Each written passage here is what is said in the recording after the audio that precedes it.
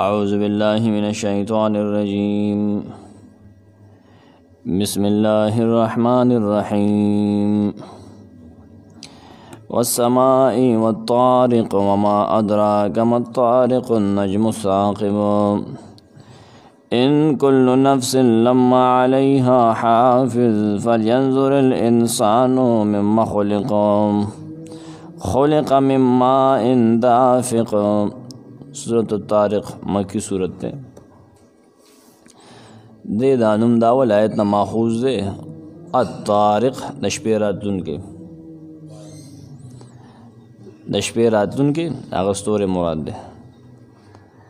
د دې تړون او ربط مخکنی صورت سره هغه په دې طریقه باندې دی په صورت بروج کې په تیرو قومونو باندې د عذاب نازلېدل هغه ذکر وو نه دلته د موجوده منکرینو عذاب د مهلت ورکولو سره ذکر دی چې زه به دې موجوده باندې عذاب راولم خو امهلهم رویدا مهلت ورکو مدیلا لږ مهلت ورکول دی له زلګ مهلت ورکوم په دې مذاب راولم دا د مکه فرعنا په دې بزال الله یې عذاب راولم ربط یو دغه شانته د مضمون ربط دی دارنګل د مکذبینو ته تخویف یره ورکړه وا مکذبینو له والله من ورائهم محیط دا آیت کې نو دلته د هغې تحقیر او ذلت ذکر دی دلته د هغې تحقیر ذکر دی سپکوالی او ذلت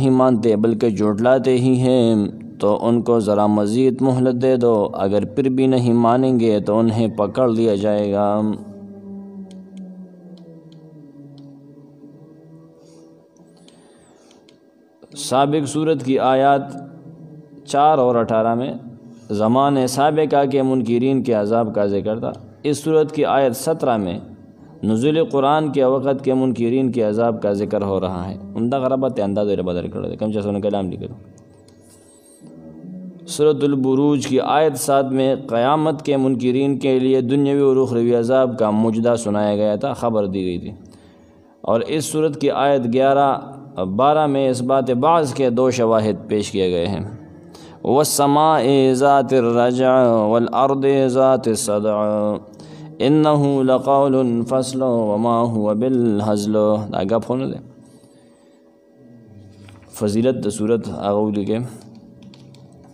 سن نبی داود کې حدیث ته حدیث 805 جابر بن سمورہ رضی اللہ عنہ فرمائی نبی صلی اللہ علیہ وسلم با لستل نمازیګر منس کې د ماسبخین منس کې والسماء والطارق والسماء ذات البروج او دا شان نور صورتونه دا ویلوستل بل یو حدیث موضوعی دی کې نقل لې من قرأ سورۃ الطارق چا چې سورۃ الطارق ولوستو الله بدلا لس ګنا ثواب ورکی د اسمان د ستورو په مقابل کې سالبی او نور تفاسیر لیکل دي خدا حدیث خفاجیوی چې موضوعی دی من غلطه د قران د اجر نه انکار نشته دی ولیکن دا چې نبی اسلام دې صورت باره کې نه دی فرمایلی دعوه د صورت بسی مرکزی خیال چې صورت ته چاپیره ګرځي موجوده منکرینو ته د عذاب نازل دو سره تخویف چې عذاب په پتا سو راځي یره ورکی د دې ماخذ د آیت ولسم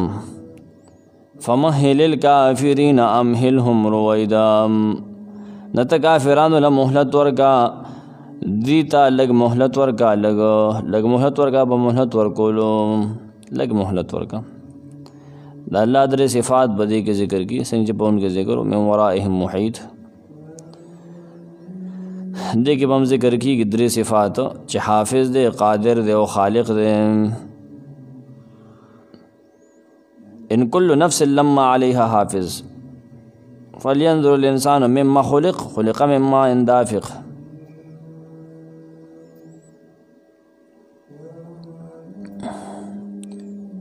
خلاصه داسې ده دا اول دو شواهد دي په دې خبره چې الله تعالی د هر نفس ساتون کې دی دو شواهد به پیش کی دو قسمونه دو گواه والسماء والطارق وما ادراک ما الطارق النجم الساقب ان كل نفس لما عليها حافظ اول څه دورایتونو کې دا هن دو شواهد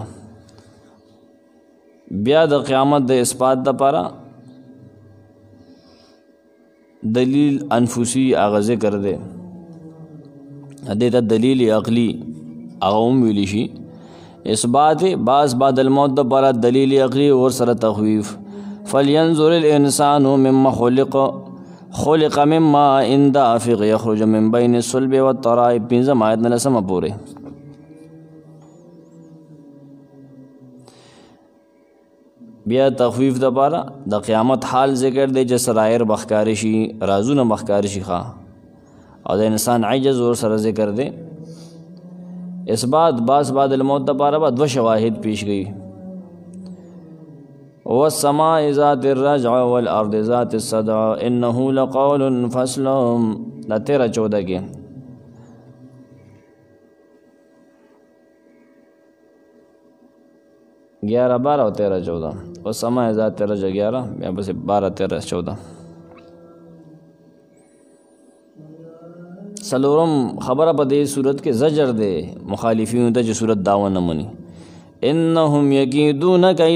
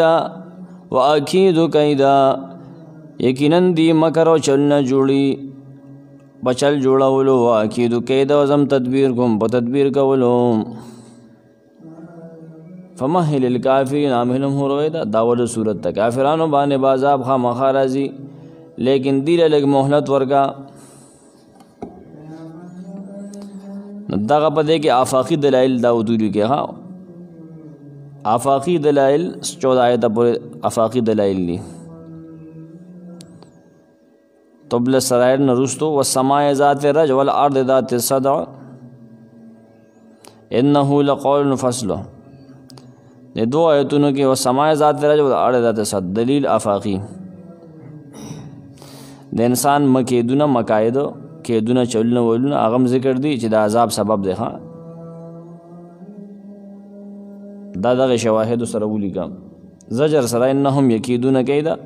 دا د انسان مکاید او کیدون دي چې دا د عذاب اصل وجه ده خان چې د کیدون جوړي اسلام ته تعلیمات او ته اسلام رکاوټونه جوړي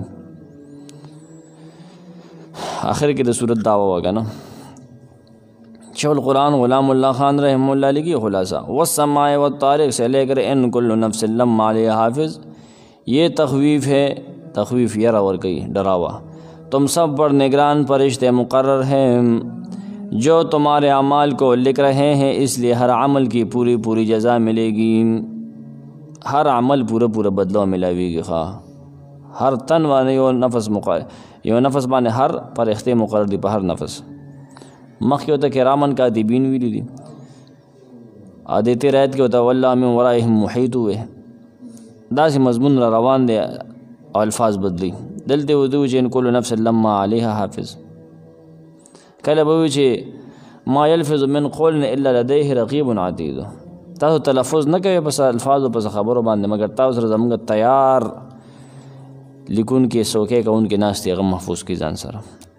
دا یو مضمون دی د ټولو آیتونو خام فلینظر الانسان مما خلق سے لے کر فما له من قوت ولا ناصر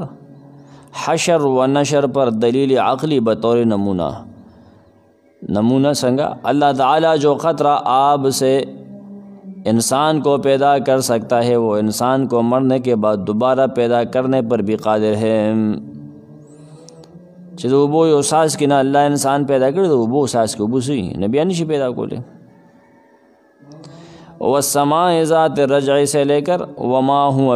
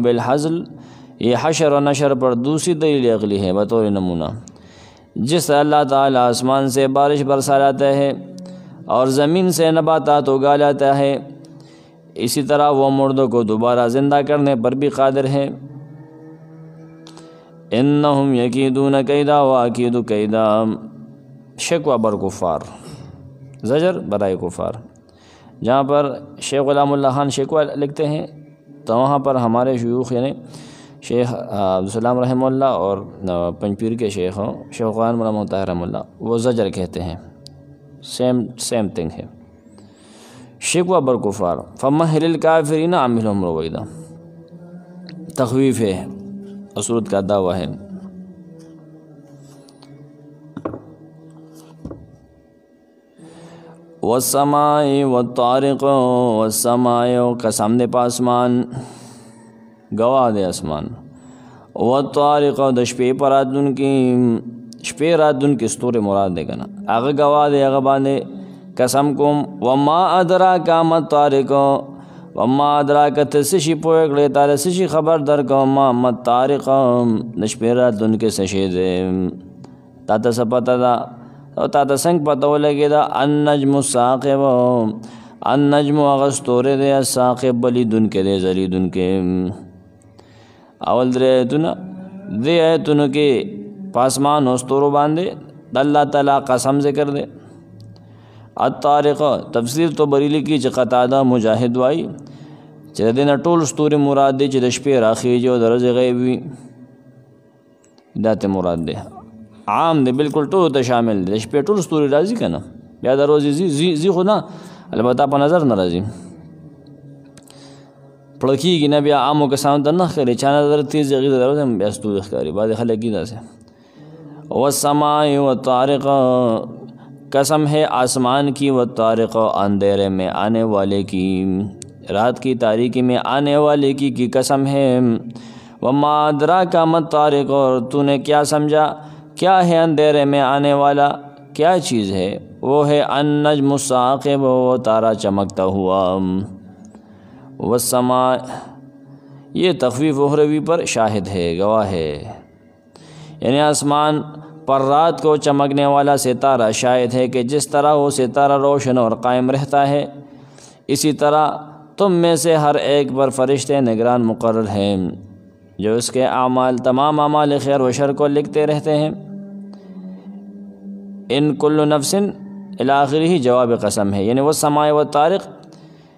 یہ پہلے جو تین آیت ہے نا اس کا جواب قسم کہاں پر ہے اسی کے بعد ذکر ہے آیت نمبر چار میں جواب قسم ہے ان کل نفس لما علیہ حافظ ان کل ما نفی پمانا دیکھا نشتہ دے حس و تن ان کل نفس نشتہ حس و نفس لما علیہ حافظ خامہ دے پاغ باندے و ساتن کے هیڅ یو تن او نفس داسې نشته لما په معنا د الا والا الا علیها حافظ هیڅ یو نفس داسې نشته دی هیڅ یو تن داسې نشته دی چې په هغې باندې ساتونکي ملایک نه وي هر چا باندې ساتونکي سارونکي او ساتونکي شته دی هغه مقرر دی په ده باندې څلورم آیت دې آیت کې د قسم جواب دی مخکې آیتونو کې قسم وخور چې ګواه دی قسم کوم په اسمان او د شپې پر راتلونکي باندې هغه ستوري باندې نو ولې قسم قسم په دې خبره باندې کوم قسم دی په دې خبره چې تاسو د هر یو تن ریکارډ محفوظ کیږي نو ریکارډ خو سره لپاره محفوظ کیږي که نه ګپ خو نه لګي هغې ټپې چارې به ته ستا ریکارډ محفوظ کیږي تا سره به حساب کیږي که نه نه حساب لپاره به ته په کار یې که نه د مرګ نه پس نه تا به دوباره را ژوندي کوي ته به ژوند ګول شي قسم په دې خبره الله قسم کې نه چې الله په قسم کې نه غبته مونږ چې یو انسان قسم وکي انسان خول قسم کې نه چې کین هغه خبره به ډېر اهمیتي نه دې خبره ډېر لوی شان ده نه دې یاد کې د قسم جواب ذکر دی کله کله ذکر دی کله محذوب مونږ روبا سوتا او سبا یادي ستنازعات کې نور زینو کې حافظ د دې نه مراد الله تعالی د لکه سورته یوسف او سورته انبیاء کې دي یو تفسیر پدې کې دا ده چې حفاظت کوونکې نه ګهبان الله دې سورته یوسف 64 او سورته انبیاء 42 آیت یا ته جنس د ملائکه مراد چې پر اخته په انسان زرا د انسان ساتون کې دي لکه سورته رعد او سمایت کرا غلي دي دا الله مقرر کړی دی په انسان باندې د هر نفس سره ساتون کې ملائک دي د حفاظت هم کې اعمال مل محفوظ کې جدا جدا دي نو معلومیږي چې د انسان پیدایش محمل نه ده د سره دوه فرشتي ګوره ګرځي لیکلو سره کوي نه باقاعده او سره یو دوه منشان ګرځي چې د سوي ریکارډ کیږي نه دا غب ده خو د سړي اهمیت ته کنه چې د سوي خلک په ډایرو کې نوٹ کوي نه خبره خو اهم ده کنه نه پته ولګي دا او دا اوس د الله په حکم ګرځي ګور هغه اوس د منشان دغه ګرځي تاسو ګرځي عادت ګوره نه پته لګي چې دا حفاظت او دومره پروګرامات شوي دي خدای سره پاره شوي دي د دا الله په احکام سره مکلف ته انسان محمل نه دی فضل نه دی پیدا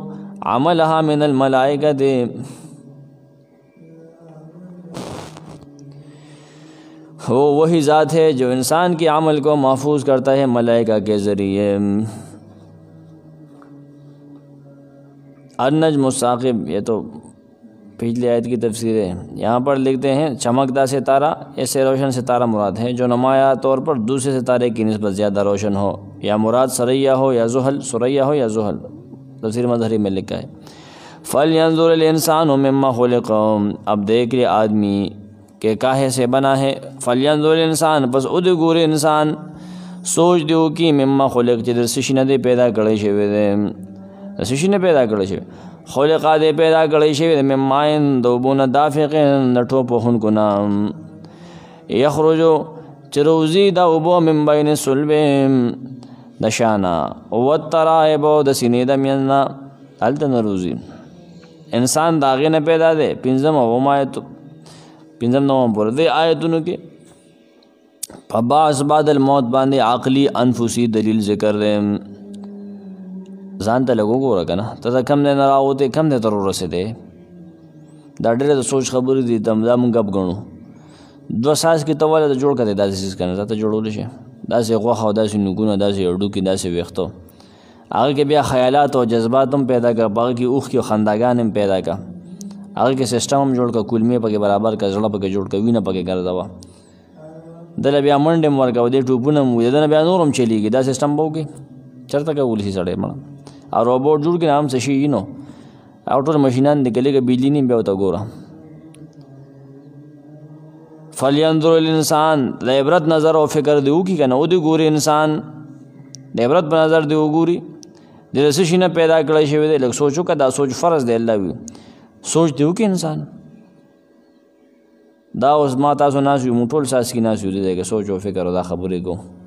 دا الله کلام مخه ته ده دا کم نه سړی کم نه ته الله پاک ورسي نه پیدا کړی شي دې دو بوټو په هون ګنا چې روزي هغه د املا دا ډګونه د املا د مینا او ترایب د سینو د مینا دې د مینا روزي د سینو دا ډګینا د مینا روزي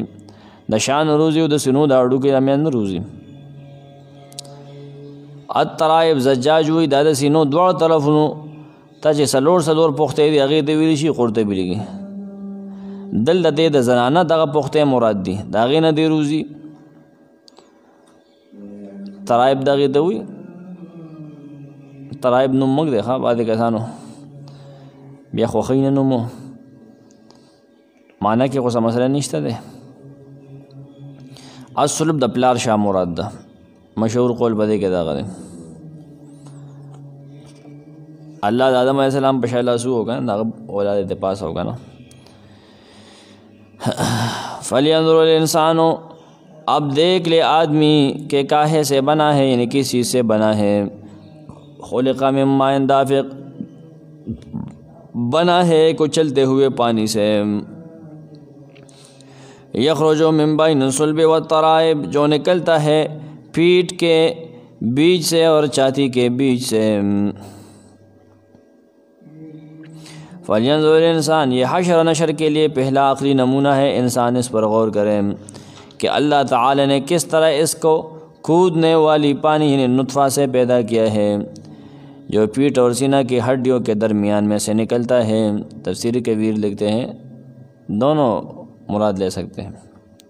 باب اور ما دونو انه علی رجعه لقادر انه یقینا دغه الله علی رجعه د دې انسان په دوباره ژوند کول لقادر همخه قادر دی چې اول پیدا کول شي نبي هم پیدا کول شي یوم تبل السرائر اتم آیت جدا کا نهم نسم جدا دی اتم آیت کې د آیت کې د دلیل نتیجه ذکر ده دلایل پیش شو نو نتیجه څه ده اول پیدا کنه بیا پیدا کولی شي دوبونه پیدا کنه بیا پیدا کولی شي نتیجه ذکر ده دلیل ان د په بیا ژوند کولو باندې الله قادر دی اومدا قول غوړه ده ها دا قول مقابل کې دا قول غوره دی اول قول دی کې دی دا چې ضمیر ما اون ته راځي دی راځي کړی شي اگر چې دا د الله تعالی د قدرت نه بعید نه چې هغه دوباره دی وبونه پیدا کولی شي نه لکه کوبه نه نیوم الله پیدا کولی شي دا ته چا ویلی لکه بهتر پدې کې دا چې د په دوباره ژوند نه کولو باندې هی ضمیر انسان ته راځي کا د په دوباره ژوند دی کولو باندې الله قادر دی هغه کولی شي بیا پیدا کولی شي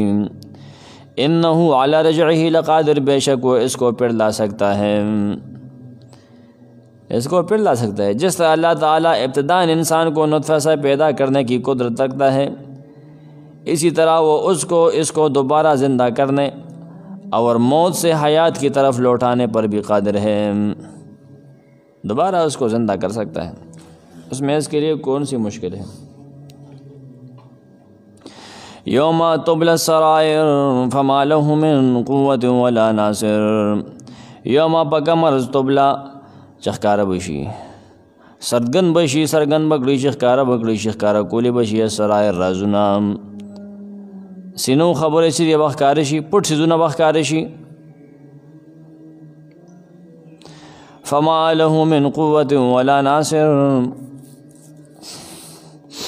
فما له پس نه بوي دغه انسان نه پاره من قوت نه استاقت انسان بډر کمزوري استاقت به نه ولا ناصر نه سو کې امداد کوونکې نه هم ولسم دی آیتونو کې د قیامت درځي حالات او د انسان کمزوري ذکر دا چې ډاډه راځي نه په کومه ده چې دا به ښکاره کولی شي رازونه به ښکاره کولی شي اسرای نه عقیدې نیتونه پټ عملونه که ښه وي او که بد بغض او حسد او دشمنی محبت وغیره ټول به ښکاره کړی شي رازونه به ښکاره شي پټ څیزونه به ښکاره شي سرایر پټ څیزونه زړه کې پټ دي د بل نه پټ کړی دي دماغو کې پټ ساتلي خیالات دي ګنده خیالات دي مثبت خیالات دي منفي دي هغه به ټول ښکاره شي په کې محبت دی نفرت دی غوسه ده کفر دی منافقت دی عقیدې دي نیتونه دي به ښکاره شي فما له من قوت ولا ناصر دې کې د انسان عجز ذکر دی نن نه به وي د انسان څه طاقت به ني قوت به ني سپر پاور بني ولا ناصر نه به څوک امداد کوونکي په خپل هم کمزوري دی څه طاقت نشته او څه خارجي مدد هم کوونکی د نشته دی ښه زه له بار نه څه کومک نه راځي امدادو چې زوی هغه پلان کې سره لګ ننواتې کو جرګه کو یا ول په دغه باندې زو شر باندې نه دې کې دا غي باطل معبودانو نفیم داخل لا چې اس مدد نشي کوله نو دا په شفاعت قهر باندې هم بیا رد شي چې الله نو څوک په زور باندې خلاص اول نشي کوله امداد لنه نه ضروره کده ډېر ټوپونه وې دتلې نه شي سو خلاصوي نه شي ته په خپل با په غم کې اخته نفسي نفسي سلم سلم یوم تبل سرائر جس دن جان چه جائے بید خکار کولی بشی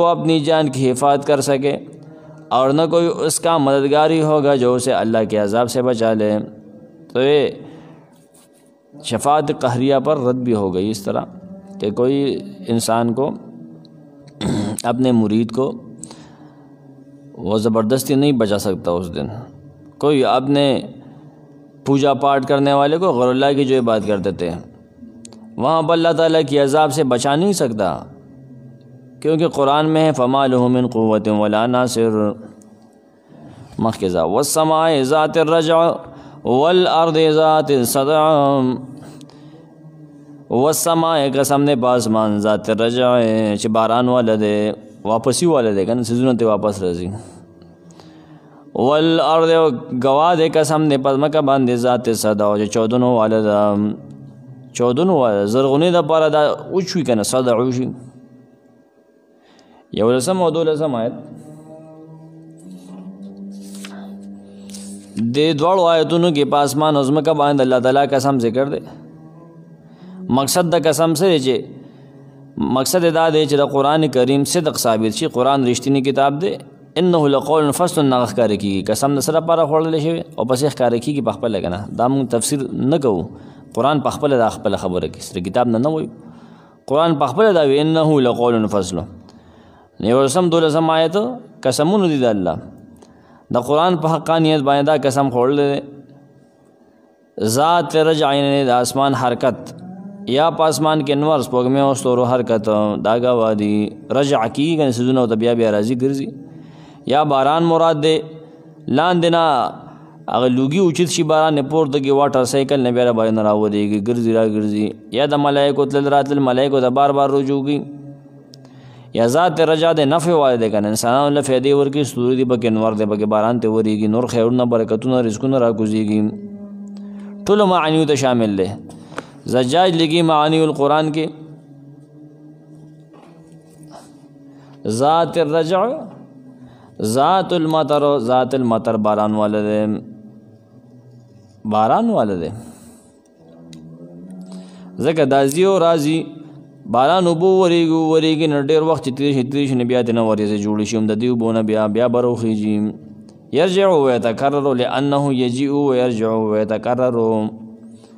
ذات رجب دې معنی ده والارض یو قسم دې گواه ده گواه ده ازمکا په دې باندې قسم کوم ذات صدع د زرغونی چې د زرغونی دراوتو د پاره چودونو والا دا چوی الله چوی زمکه او چوی سړغته روزنه غا ذات صدع د زمکه چودل چې بوټي معدنیات او چینی وبته نه روزي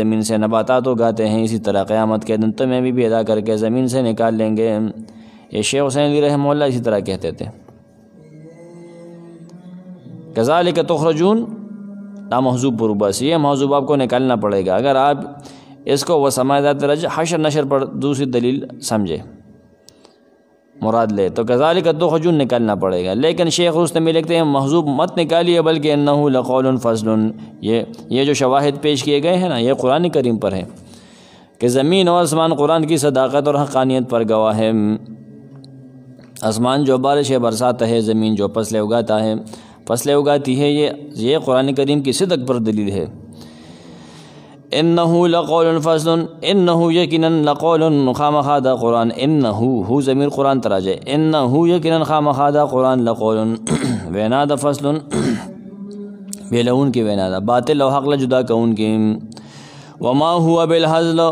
او دا قران اس کله ابس د ټوکو خبره نه دا غپ نه دی شیخ لیکي سم کلام کې دا د قسم جواب دی دا جواب قسم دی انه لقول هو ضمیر قران ته راځي دی او د فصل نه مراد د جدای نه مراد فصل نه مراد جدای ده یعنی د حرام او د حلال او د حق او باطل وضاحت ده بل قول هم لیکلی یا ضمیر دوباره ژوند خبر ته راځی دی دوباره ژوند خبر ته راځی دی انه علی رجعه لقادر ته راځی دی دواړه تفاسیر دلته کې شته ښه د سیاق سبق له سره وما هو بالهزل هزل باطل لعب او هر هغه سیز ته ویل شي چې د حقیقت نه غب شپ ټوکې وشته دا د فصل مقابل ده فصل دلته د قول فیصل په معنی ده کنه د فاصل فمان جدای را وسنګي فیصل نه او فصل د حق او مفید کلام په معنی دی فصل د حق حق ویلی جداګی او مفید کلام دی د په معنی باندې دی حزل هو به مطلب خبرې دی قران ګوره غب نه ټوکې وښنې نه ټپې چاربې ته نه دی ګوره دا برحق کتاب دی دا قول فیصل له هر څه کې دی صحیح خبره کړې ده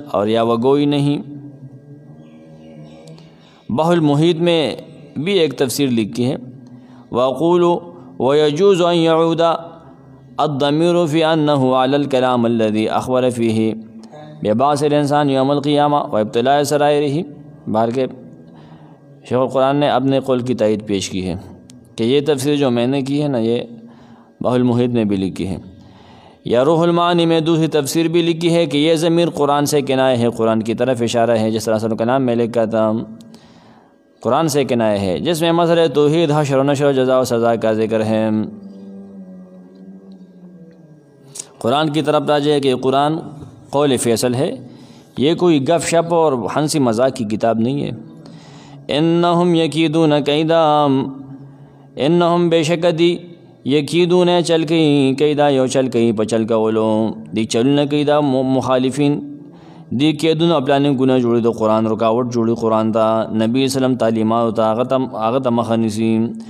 واکیدو زم تدبیر کوم الله وی کېدن په تدبیر کولو فمهل الکافرین ته مهلت ورکا کافرانو لا امهلهم رویدا امهلهم مهلت ورک دیلا رویدا لګ معمولی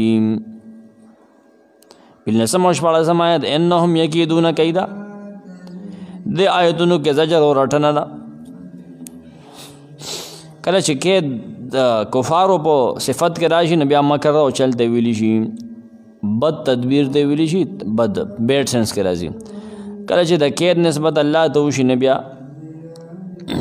هغه مثبت معنو کې راځي دا هم پټ کار دی خو لیکن هغه هغه منفي او دا مثبت دی الله خو چلونه نه دی مکار خو نه دی نعوذ بالله او کفر دی والله خیر الماکرین کوم دغه ما هندوانو کتابونه کې مسلمانانو کا خدا بڑا مکار ہے دا قرآن کې دی چې والله خیر الماکرین ادا معنا دا ظالم دا سوی دا الله قید بیا په سو طریقو باندې دی یو د استدراج په طریقه باندې چې بندر ورو په دمه دمره نسی لکه سورۃ الاعراف کې 182 کې رور ولا نسی دی په دمه د مرا نسی یا دی د دی غ چل ولغن ناکامی خده مو طریقه دغه ده هم لکه سو ته تور کې راځي یا الله د حق پرست امداد کوي خام درې مو طریقه دغه ده د حق پرست امداد کوي الله پاک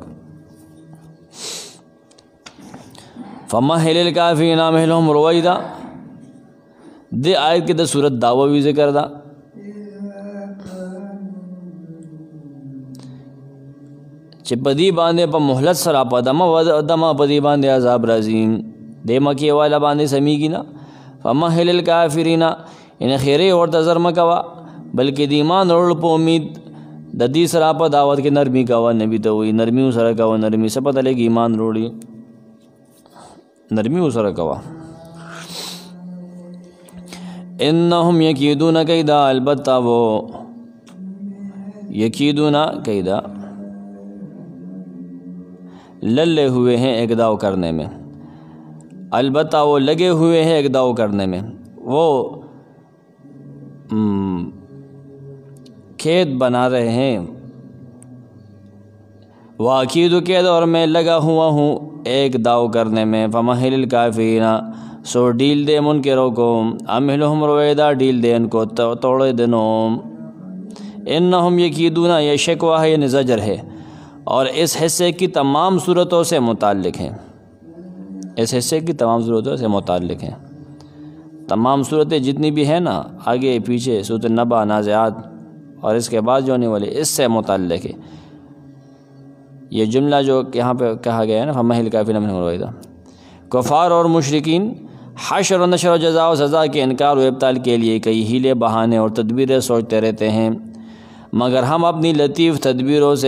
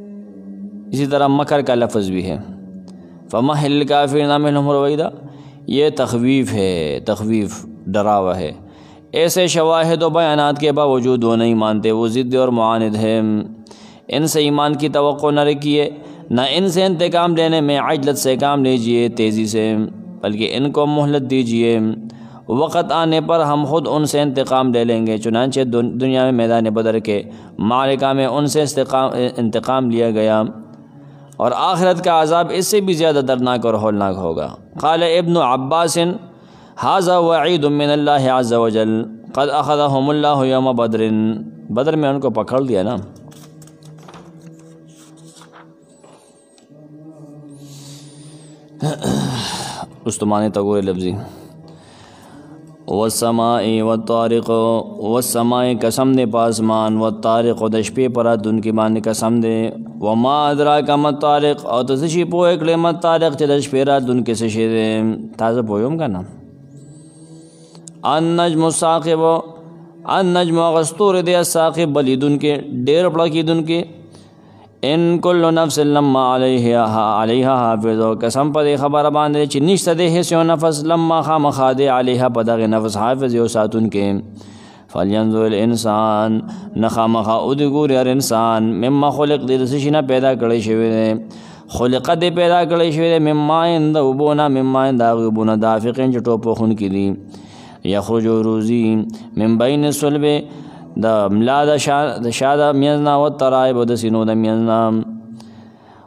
انه علی رجعه لقادر یقینا دغه الله خامخا د انسان په دوباره ژوند کول لقادر خامخا قادر دی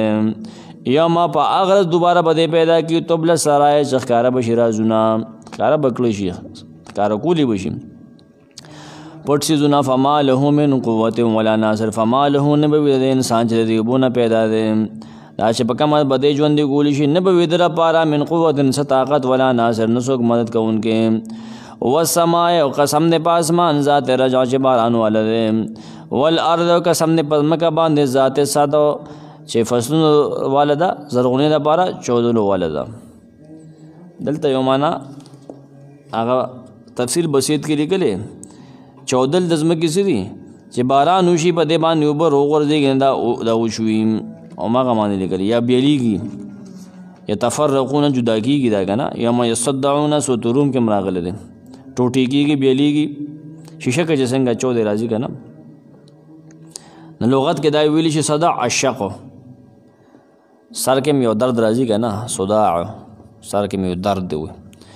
انه لقول فصل لیکن خامخا دا قرآن یا دا دوباره جون جون چې کوم دی فیصله دا خبره دا فیصله فیصله کن دا شوی و ما هو بالحاضر او دا غب نه قرآن هم غب نه دوباره پیدایش هم غب نه انهم یکیدون کیدا یقینا دا مخالفین چلنه کی په چلنو کولو قران ناکام کی دا قائد دخل کو نه ری غړي وړي وي واکید والله وزم تدبیر جوړم کیدن په تدبیر کولو